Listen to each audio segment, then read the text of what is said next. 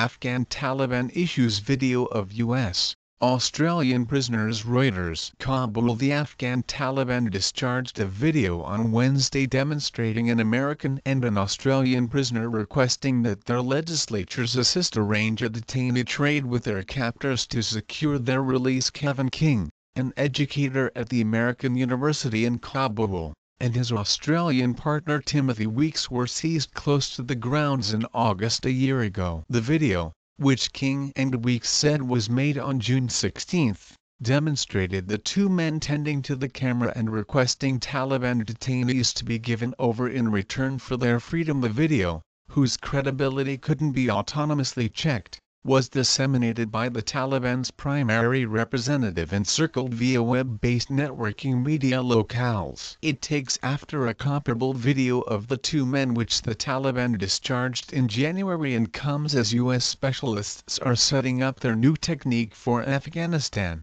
anticipated that would incorporate an expansion of between 3,000-5,000 troops. In September, the Pentagon said U.S. strengths mounted a strike to attempt to safeguard two regular citizen prisoners however the men were not at the area targeted kidnapping has been a noteworthy issue in Afghanistan for a long time. Most casualties are Afghans and numerous hijackers are criminal packs looking for recover cash yet various non-natives have likewise been stole for political finishes. Detailing by James Mackenzie Editing by Janet Lawrence This story has not been altered by First Post staff and is produced via Auto Encourage.